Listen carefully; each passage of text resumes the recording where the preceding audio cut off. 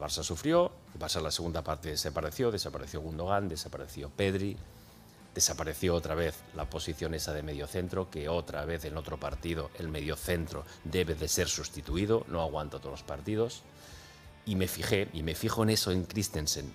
Una de las cosas que seguro que haría Pep, seguro, y que Johan hizo con Pep, cuando le dijo, tú tienes que jugar en esa posición, ¿qué es lo primero que le enseñó?